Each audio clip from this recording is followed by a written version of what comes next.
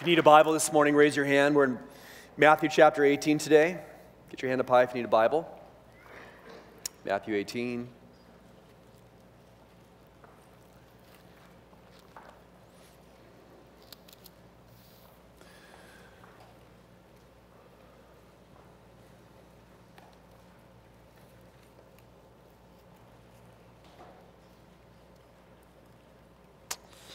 All right.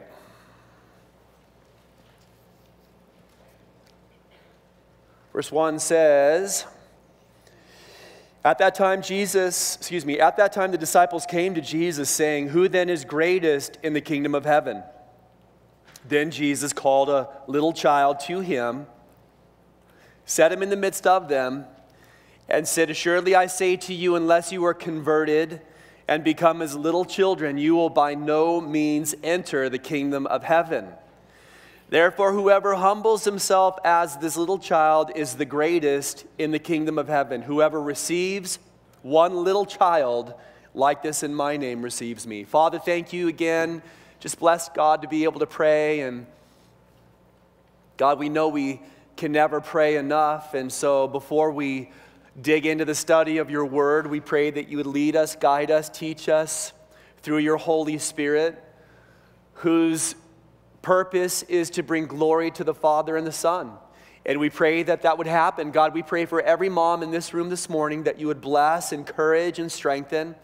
God, that you would fill each cup to overflowing. God, that you would turn any mourning into dancing, any sorrow into joy. Father, we're so thankful for the gift of our moms. And Lord God, we know that you have just been exceedingly good to give us such wonderful, precious gifts. We pray that you'd speak to us through your word today. In Jesus' name we pray. Amen. If you're a mom in this room, um, would you stand up this morning? We just want to acknowledge you and thank you for being so awesome. Give it up for the moms now. Come on.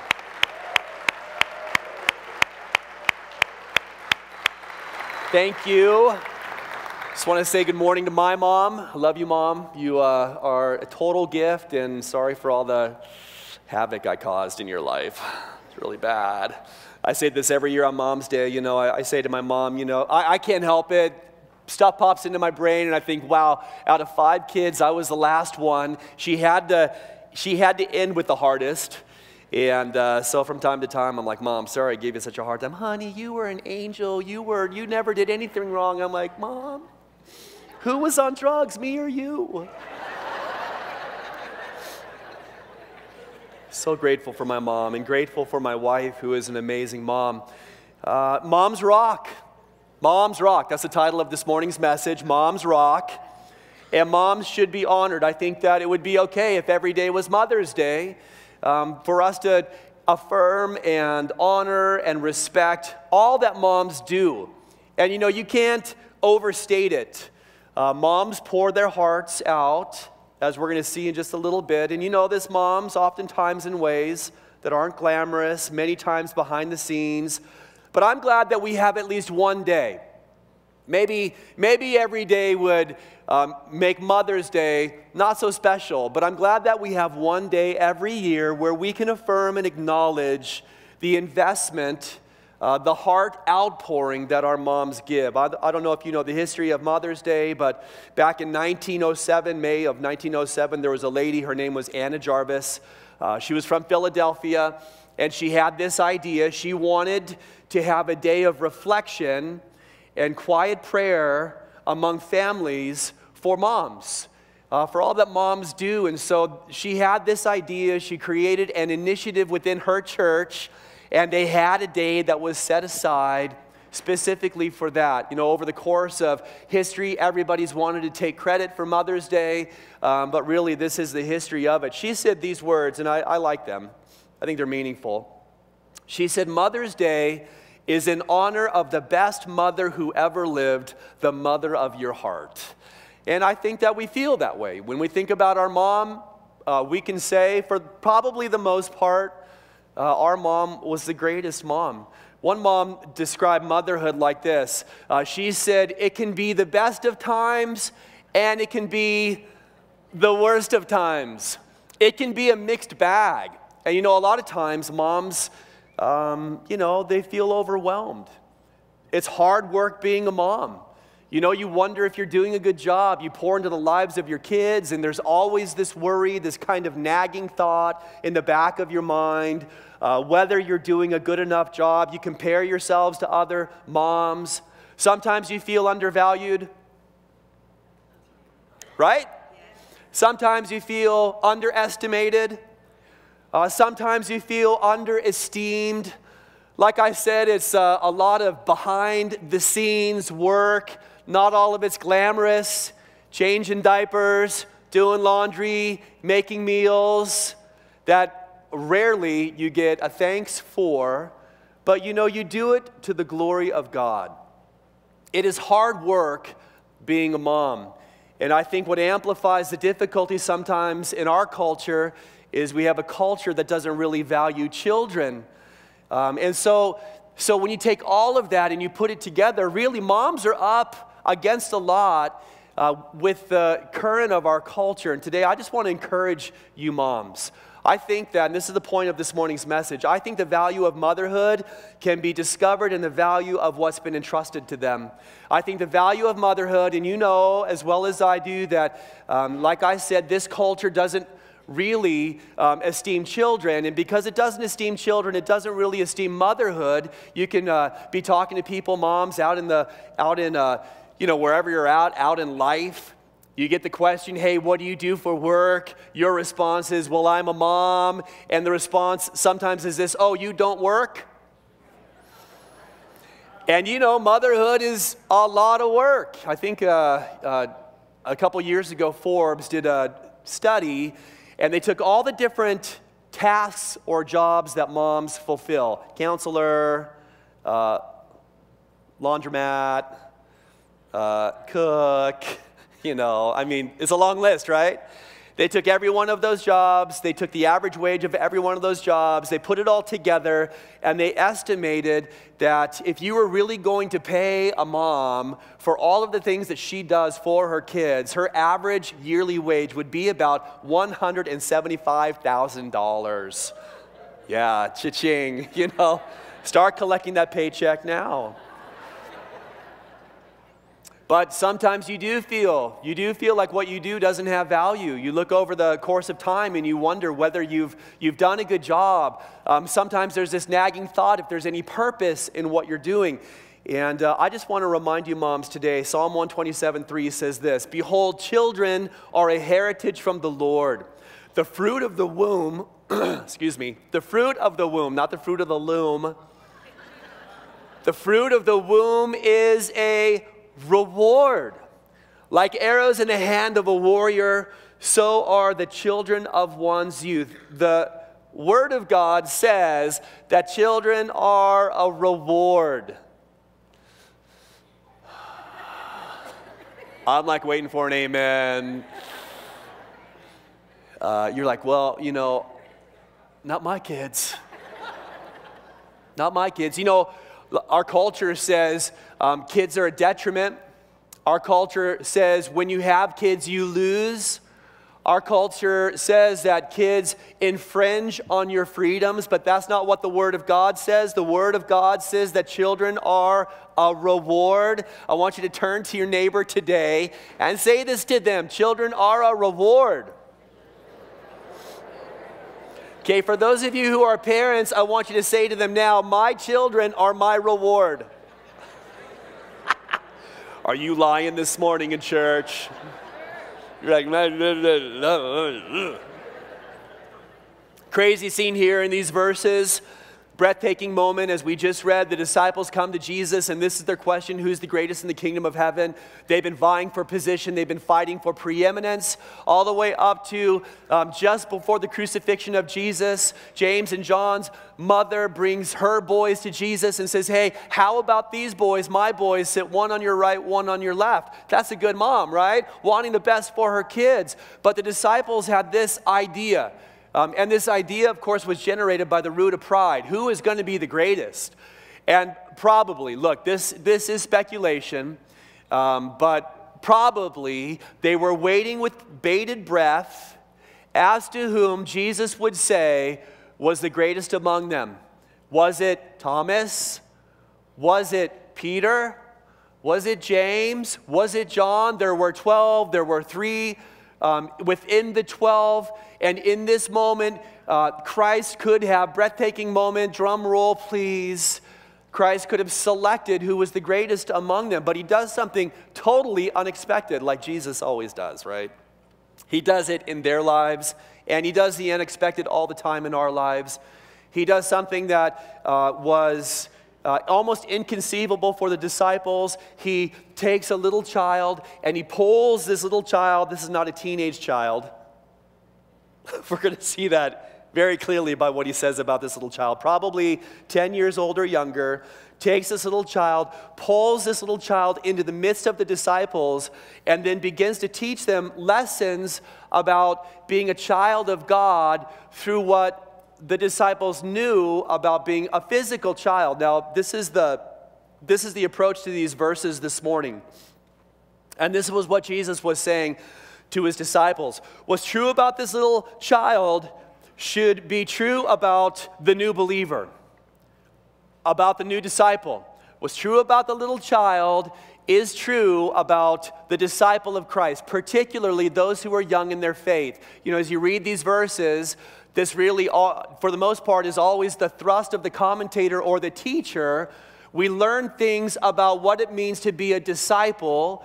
Um, we learn things about how we are to handle young believers through this illustration of a little child. We're going to handle this backwards. We're going to go the other route this morning. And I just want to learn some things about how God views children. And the reason I want to do this is because as we see how God values children, this is what it does it builds your understanding of the value of motherhood. You know, motherhood is a sacred trust. From the time of conception, from the time of conception, motherhood is a sacred trust. God has entrusted moms with what is most valuable. And I want to encourage you as you think this through, moms, you have to walk away this morning understanding that you have great value in the eyes of God. That God has entrusted you with something so precious as little children. And then, in addition to that, as we see the value of motherhood, this is what the rest of us should do. The rest of us should support. The rest of us should surround moms um, and empower them to fulfill the calling of God upon their lives. So, just a couple of things this morning about the beautiful gift of kids. The Bible says in verse 3 Assuredly, I say to you, unless you are converted and become as little children, you will by no means enter the kingdom of heaven. Therefore, whoever humbles himself as this little child is the greatest in the kingdom of heaven. Whoever receives one little child like this and my name receives me. So he does the he does the counterintuitive. He pulls a little child into the midst. They're thinking of who is the greatest and of course if christ is going to talk about who is the greatest he's going to pick somebody um, of lofty stature. He's going to pick the, the, the spiritual giant. He's going to pick the one who's got the most experience and the religious background, and he does the exact opposite. He takes a little child. Listen, in this particular culture, though they valued children, they did not value the opinion of children.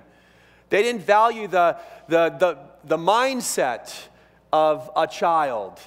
Uh, and so, what Christ does is he pulls this little child into the midst and he teaches his disciples that children, this is, this is number one, children are souls eager to believe in God. Children are souls uh, who are eager to believe in God, and this is because of their humility. He identifies this quality, this characteristic um, of kids. It's so natural for them to have an eagerness to believe in God. You know, if you have kids, you know this is true. As you're raising your kids in those very early years, um, it is natural for them to believe in God. As you talk about God, um, as you talk about the love of God through Christ, the Son, you're not getting a lot of arguments. You're not getting a lot of philosophical debate. Um, you're not getting a lot of, of pushback. I know this was the case for our kids. As we talked about God, it was, it was just natural It's natural for them to, to believe in God. In fact, it was kind of like, duh, yeah, of course He exists.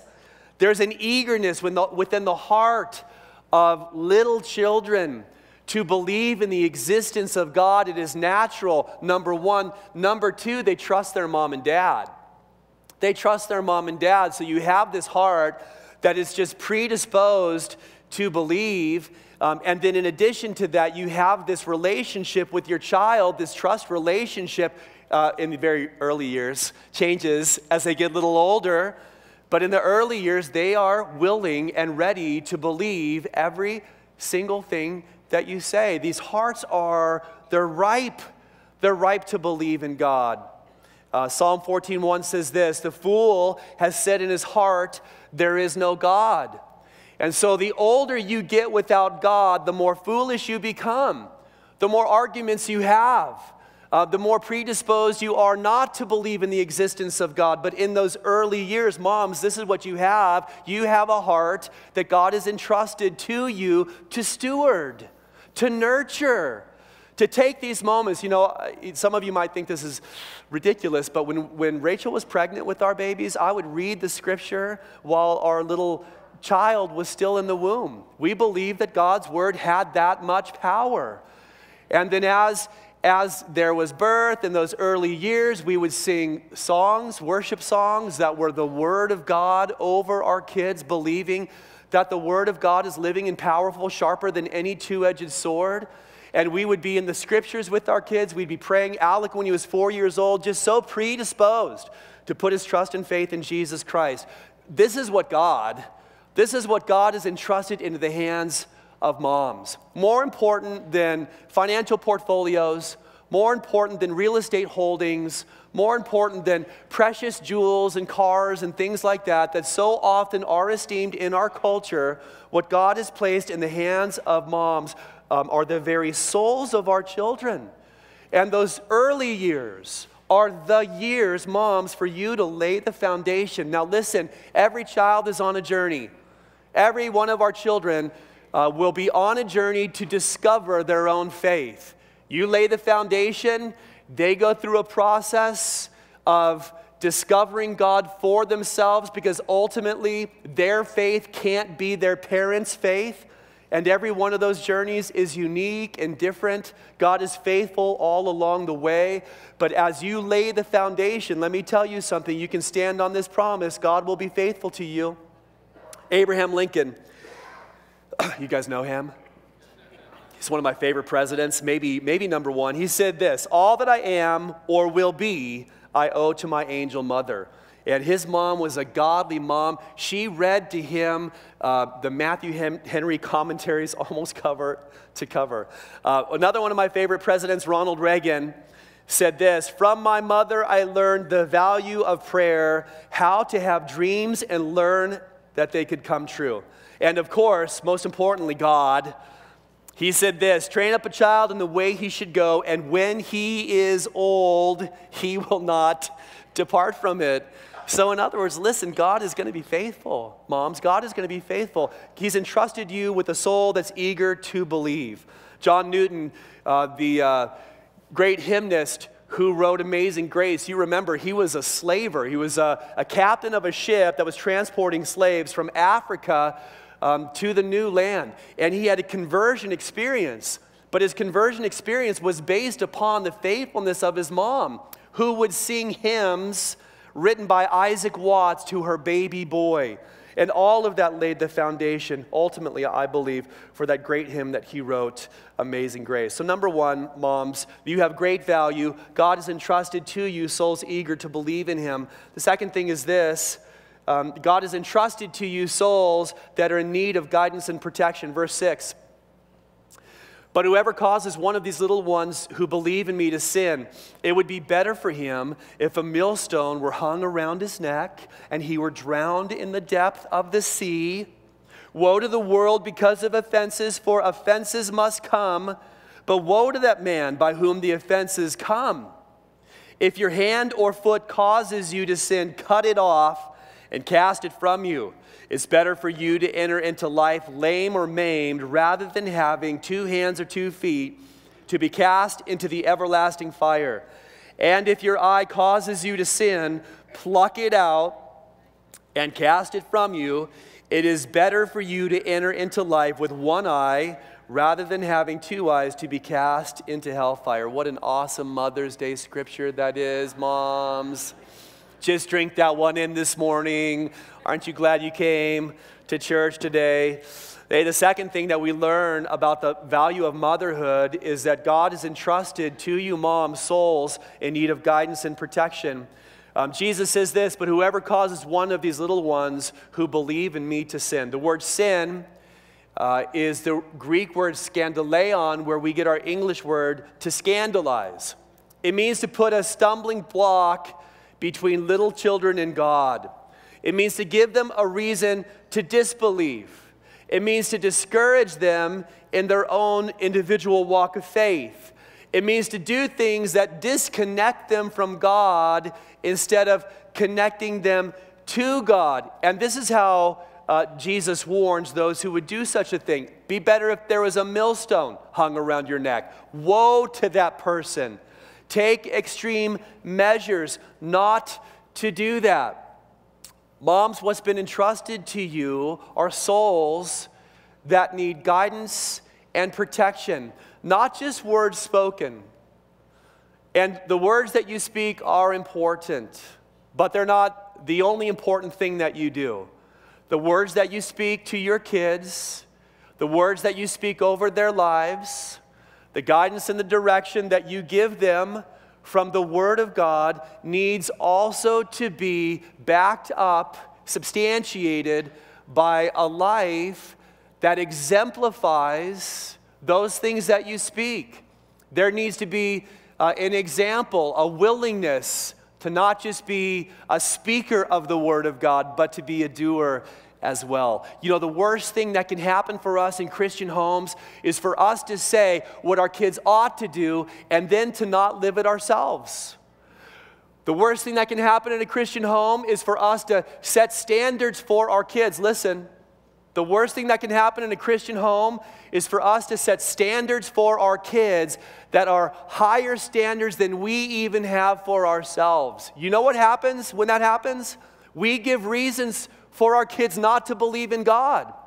We become the justification. Wouldn't that be the worst thing? Wouldn't that be the worst thing to hear from the mouth of the child that's been entrusted to you? Listen, this is for moms and dads. The worst thing to hear would be for your child to come to you and say, Hey, the reason I don't believe is because you always said it with your mouth, but you never lived it with your life. God help us. God help us to live out the instructions. God help us to have at the center of our lives the authority of the Word of God. God help us to be humble enough that this book would be first for us and then for our kids. You ever been held to account by your kids before? How's that go for you? I have. Hey, Dad, didn't you say? Hey, Dad, wait a minute. You know, you always tell us, shut up, you little brat. Kids are to be seen and not heard. That's how I was raised. I'll let you know when you can speak. I don't know. I hope it doesn't go like that for you. Um, and it doesn't go like that for me. It's like, yeah, well, you know what? There's a standard that, that, is, that is expressed, and that standard is first for dad, and then that standard is for mom, and then those standards are for the kids. And you know, the greatest example you can show your kids is the example of humility, a life that's willing to say, hey, you know what, honey, you're right. You're right, I was wrong. I was. It's hard to even get out. To humble yourself before your child and to acknowledge that in a particular circumstance. But you know what that does? It validates your whole message. That your life is as submitted to the Word of God as you want their lives to be. And this encourages them. Hey, you know what? This is the pathway. They see it. This is the pathway. When something is done that's wrong, there's confession, even before others. There is a forsaking of sin, and there's a turning of the heart to God for your kids to see that. Your kids need to see it, and my kids need to see it as well. I think dads are the first line of defense I think dads, you know, and, and for those of you who are single parents, um, listen, you moms, you have got your work cut out for you. And we as a church are here to support you. Um, for those of you uh, who have kids and you know you've got a, a marriage, dads are first line of defense. Dads, you need to be the spiritual priests of your home. Moms, in a sense, are the last line of defense. So listen, if dad is not defending and mom is not defending, in a way, as it goes with mom, then so it goes with the kids. Moms, God has given you a soul, entrusted into your hands a soul that needs guidance and protection. You know, a couple years ago, there was this big thing about tiger moms. Did you guys hear about that? And a tiger mom was a mom who uh, was raising her children in a traditional Chinese way, including strict rules, tough love, and discipline to get her kids to succeed. Um, I think that I think we should start a group. This, I don't know what you think about this, but I'm trying this out on you. Okay, here we go. I think we should start a group called Moms on Mission. The acronym is MOM. Huh? Isn't that cool? I was thinking maybe Jesus mom or 22 6 moms, Proverbs 22 6. But maybe we do something like this Moms on mission, because moms, that's, that's what you are on. You are on mission, and this is the simplicity of your mission. This is what God wants from you. He wants you to love Him. He wants you to love Him. God's not saying, hey, if you're going to be a good mom, you need to make all your bread from scratch.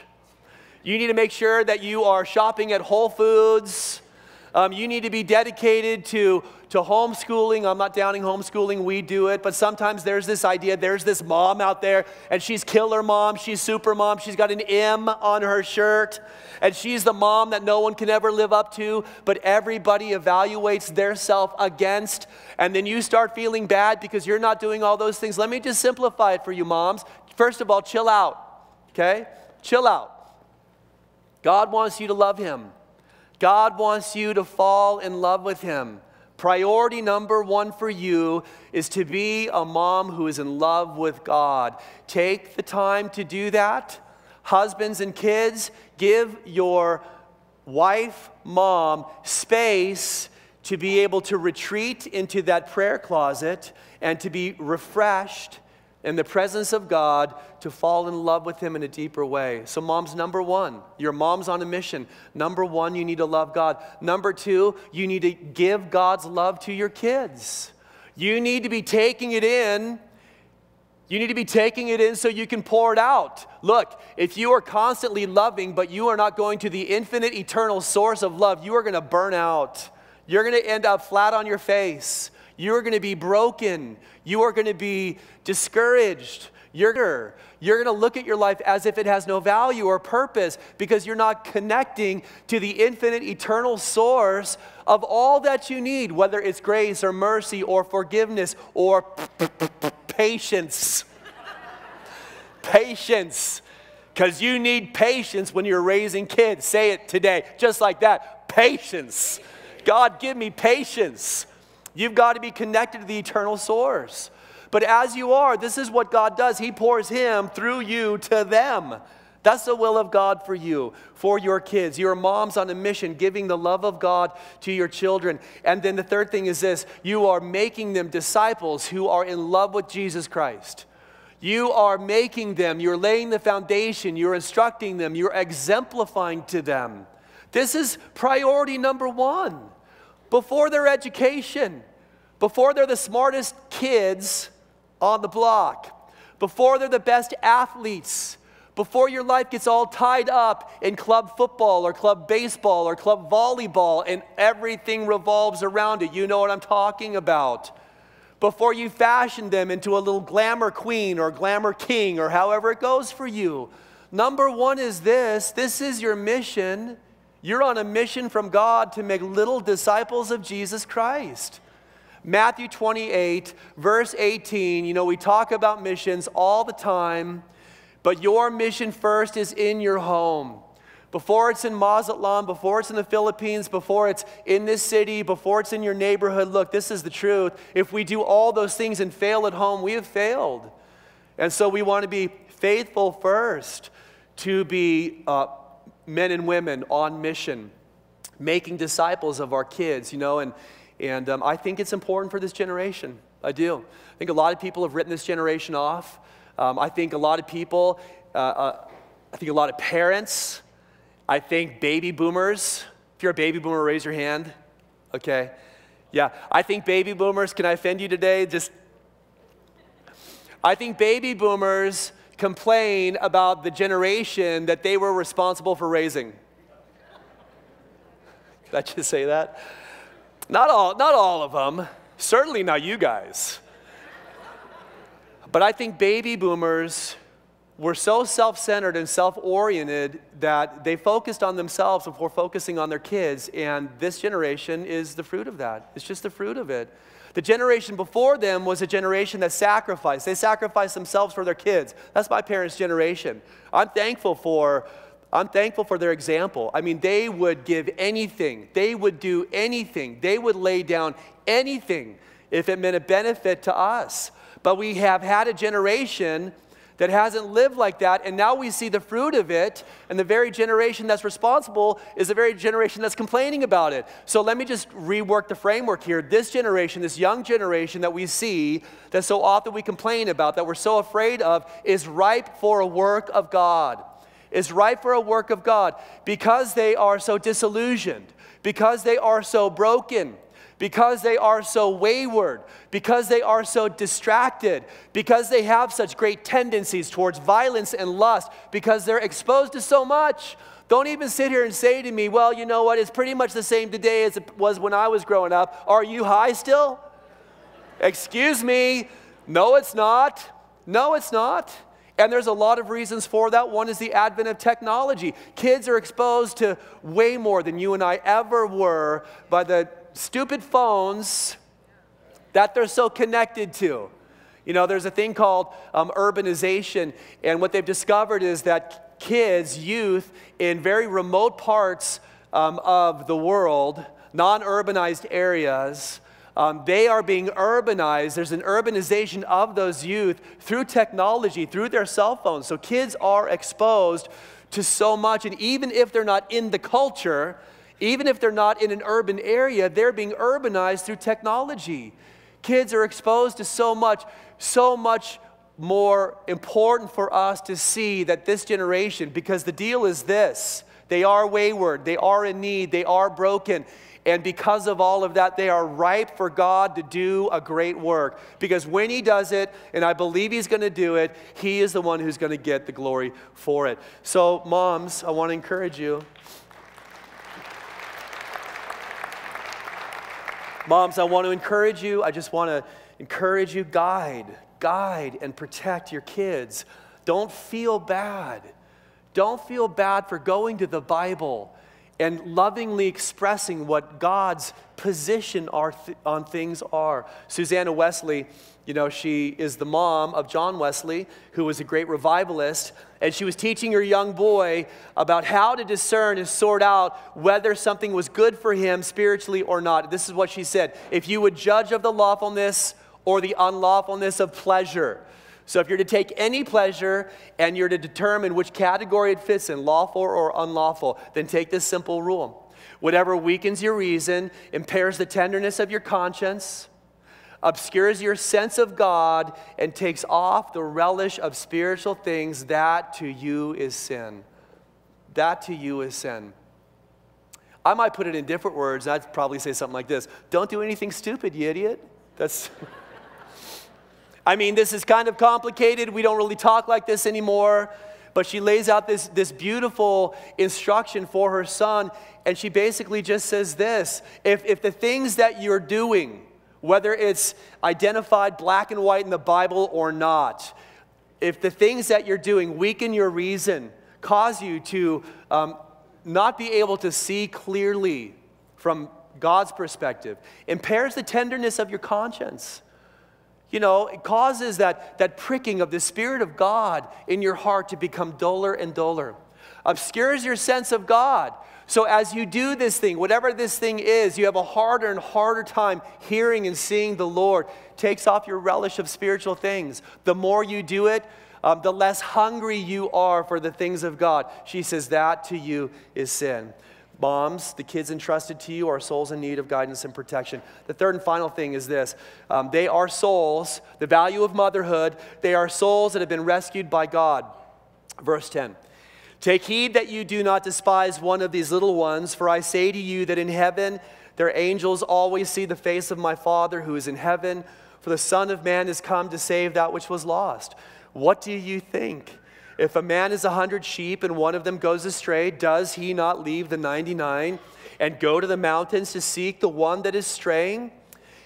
And if he should find it, assuredly I say to you, he rejoices more over that sheep than over the 99 that did not go astray. Even so, it is not the will of your Father who is in heaven that one of these little ones should perish. The third and final thing, moms, today is this um, there's great value in motherhood.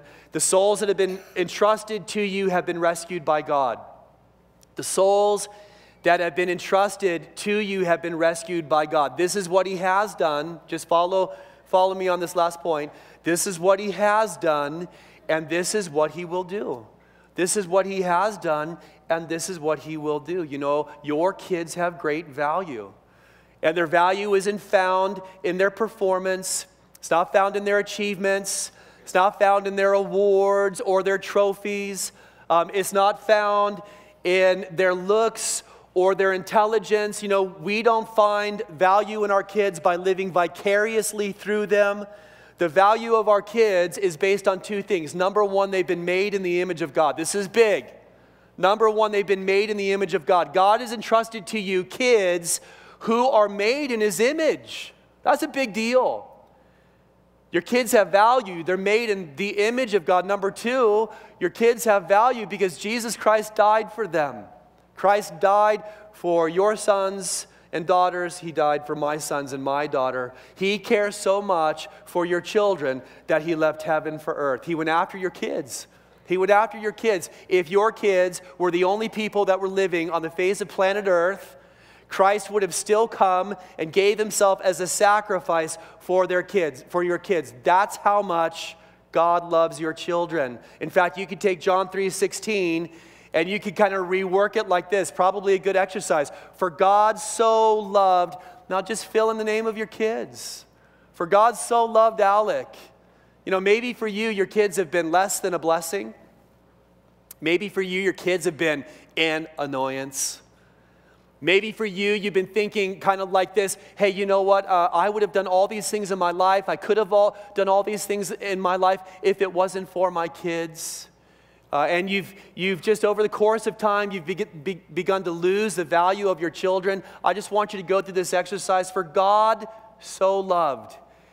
And just fill in the name of your kid there. For God so loved Alec. For God so loved Hannah. For God so loved Levi. That's how valuable, that's how important your kids and my kids are in the eyes of God. And this is what He'll do He rescued them, He paid the price for their eternal salvation, for the forgiveness of their sins. And you know what He'll do? He will relentlessly pursue them. God wants your kids in heaven. God wants your kids in heaven. God wants your kids in heaven more than you want your kids in heaven. And I know you want your kids in heaven really bad, but guess what? You wouldn't have ever wanted your kids in heaven unless God had put the desire in your heart. You can't even want them to go to heaven without the want coming from God. He's the one who caused you to want it. And if He is the one who caused you to want it, listen, His want is greater than your want, and His want is the want that's going to make it happen. God relentlessly pursues your kids. You got wayward kids, you got prodigal kids. You got kids that have gone astray. You've laid the foundation and now they're not walking with God, and you're thinking, man, what did I do wrong? Well, look, the list is probably long. The list is probably long. My list is long.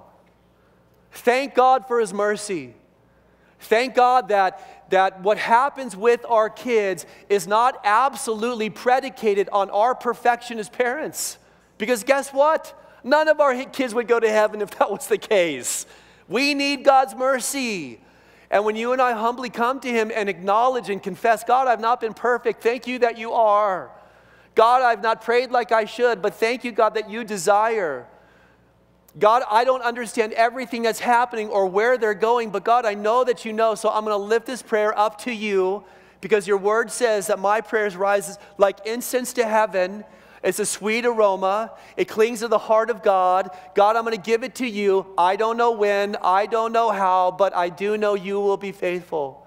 I don't know when, I don't know how, but I know you will be faithful. God, you will relentlessly you will relentlessly pursue my kids, even when they're not in my presence. You have the power, you have the ability to bring people into their lives. God, to stir their hearts to pick up the Bible that they've been forsaking for years and decades, maybe. You have the power and the ability, and God, I'm just trusting you. And I'm going to continue to pray relentlessly until I see my prodigal come home. You know, God is faithful. God loves your kids that much. God has rescued. God has sent his son, he's done all the work, and now God will relentlessly pursue your kids as you seek his face in prayer. You know, we've had so many great testimonies come back from these little prayer cards that you guys put in, and I put in today, into the offering bag. Um, and a number of praise reports have come back about how God has returned prodigal kids. You know, I had an awesome conversation with a sister in Christ. She's been going to church here for years. She said, You know, Pastor, my son has been prodigal. He has a calling on his life. And we laid the foundation, and he has just been gone. He has been gone. He is out into just crazy madness. I put in a prayer request, dropped it in the offering bag, and two weeks later, our prodigal came home. Our prodigal came home. He recommitted his life to Jesus Christ, and now he's walking with God.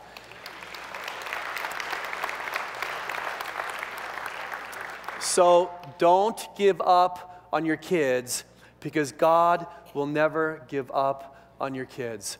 My wife does a, a prayer meeting on Monday nights. It's called Moms on Their Knees, and they are praying uh, for our kids. They're praying for your kids. They're praying for the moms in this church. I want to encourage you on Monday nights at 6:30 to come. Are you burned out? Are you bummed out? Are you broken? Are you exhausted? Look, I want to encourage you this morning. Moms rock when they look to the rock. All right? Moms rock when they look to the rock. Moms, you need to look to the rock. Everything that you need, everything is found in your husband.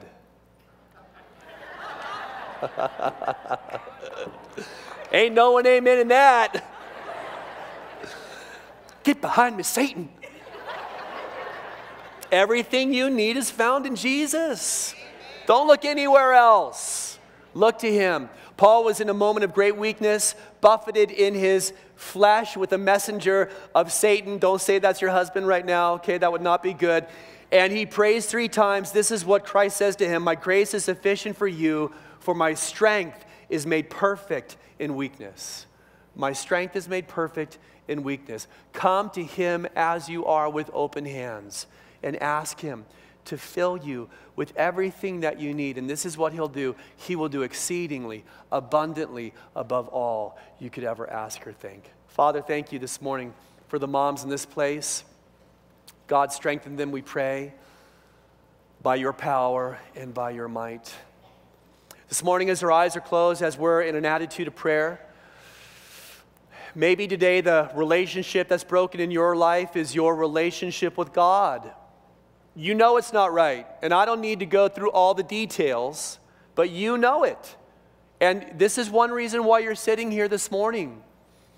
You need it fixed. The most important thing in your life is broken and you need it fixed. Your moral goodness will never fix it. Your church attendance will never fix it. You becoming a better person will never fix it. Bringing your kids so they can get a religious foundation is not going to fix it. The only one who can fix it is Jesus Christ. He is the way, He's the truth, He's the life. You can't get to the Father unless you go through Him. Today, that broken relationship with God can be mended by confession and repentance, confessing to God what he knows already you've sinned. We, the Bible says we've all sinned and fallen short of the glory of God. That broken relationship can be mended as you trust in Christ, as you believe in his death and his burial, his resurrection, saying for yourself, I believe Jesus, that you died for me and that you rose again for me. And as you invest your faith in that, the gospel, God does the work. He does the work. Today, do you need that broken relationship to be fixed? If you've never put your trust and faith in Jesus Christ this morning, I want to give you an opportunity to do that. An opportunity to be believing today, to experience the promises of God in your life, to know real purpose and satisfaction, to have the assurance, the absolute assurance of everlasting life. It can be yours today if you will believe. This morning, if this is you, you would simply say, Derek, that, that is me. I want my broken relationship with God to be fixed. I need Him. My life is broken, and I know it today. I know it. I need God. Today, if this is you, I want to pray for you. Would you raise your hand this morning? Would you be bold enough this morning to acknowledge that, to stretch your hand up? to allow me to pray for you today. God bless you in the back. I see your hands. Anybody else? I see your hand in the back. I see your hand in the back as well. Doesn't matter how old or how young you are right now. God has brought you here, here in the center.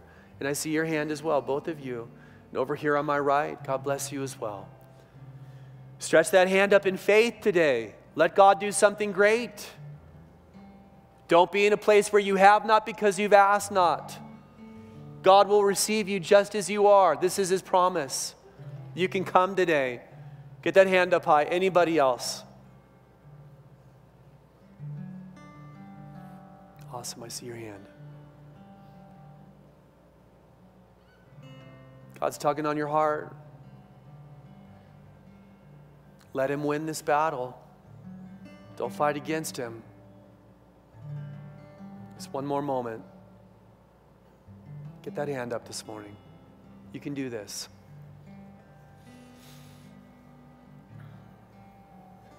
This morning, also, if you're prodigal, you've been running, this is the truth. You've been running from God. You've had maybe a foundation that was laid by, by parents. People have been praying for you. You've been wayward, off track. Today is the day for you to come home.